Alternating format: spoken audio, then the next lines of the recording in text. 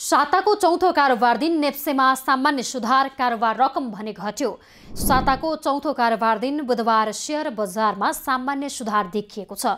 अघिल्लो कारोबार दिन उच्च अङ्कले घटेको नेप्सेमा आज सामान्य सुधार देखिँदा नौ दशमलव शून्य नौ अङ्कले बढेको छ। यो सँगै इन्डेक्स पनि सत्ताइस सय एघार दशमलव सात पाँच अङ्कमा उक्लिएको हो।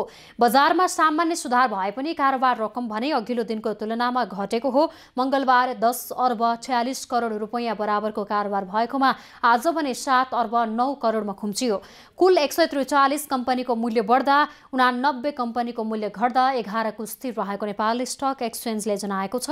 आज कारोबारमा आएका कम्पनी मध्ये आठवटा कम्पनीको मूल्यमा सकारात्मक सर्किट लेभलमा कारोबार हुँदा तेह्र मध्ये आठवटा समूहका सूचक सकारात्मक बन्दा विकास ब्याङ्क समूह सबैभन्दा धेरै तिन दशमलव तिन आठ प्रतिशतले बढ्यो। फाइनान्स एक दशमलव छ छ होटल तथा पर्यटन शून्य दशमलव चार पाँच हाइड्रोपावर एक दशमलव दुई आठ लगानी शून्य दशमलव दुई शून्य माइक्रो फाइनान्स शून्य दशमलव शून्य सात तथा व्यापार समूह शून्य दशमलव दुई सात प्रतिशतले बढ्दा ब्याङ्किङ शून्य दशमलव दुई छ जीवन बिमा शून्य दशमलव एक आठ। निर्जीवन बिमा शून्य दशमलव दुई एक र अन्य समूह शून्य दशमलव शून्य सातले घट्दा उत्पादन समूह स्थिर रह्यो।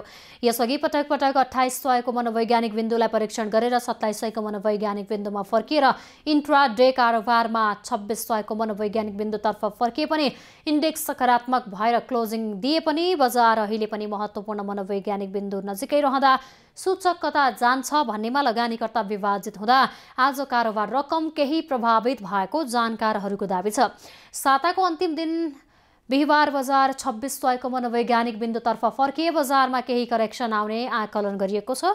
अहिले सत्ता गठबन्धनमा रहेका नेपाली कङ्ग्रेस र नेकपा एमाले बीच असहमति बढेका हल्लाका बीच केही उतार चढावपूर्ण देखिएको नेप्से साताको अन्तिम कारोबार दिन बढ्ला कि घट्ला। कमेन्ट मार्फत आफ्नो विचार व्यक्त गर्न नभुल्नुहोला। सूचना जानकारी र मनोरञ्जनका लागि सूत्र टिभी हेर्दै गर्नुहोला।